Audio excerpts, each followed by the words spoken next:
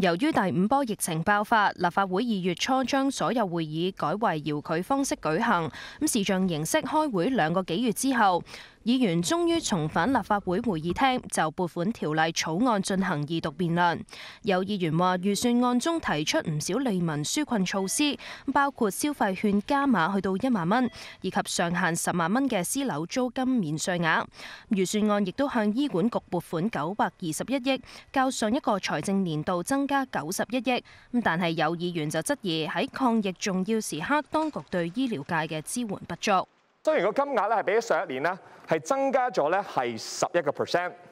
但係原來大家睇清楚呢條數嘅話咧，就會發現原來呢一筆撥款咧已經計埋咗用嚟抗疫嘅七十五億額外撥款，連兩個 percent 嘅增幅都唔夠。政府班高官開口埋口就話：哎呀，多謝醫護，但係原來實質上喺支持醫護工作嘅時候，就係咁撳住個荷包。現屆政府任期將會喺六月底屆滿，有議員希望下屆政府能夠將好嘅政策延續。呢一份呢可以話係一個跨越兩屆政府嘅預算案，理論上咧應該係起到承先啟後嘅重要作用。要調整而家長遠房屋策略嗰個計算方法，必須咧要將實現三年上樓、協助青年置業、告別劏房蝸居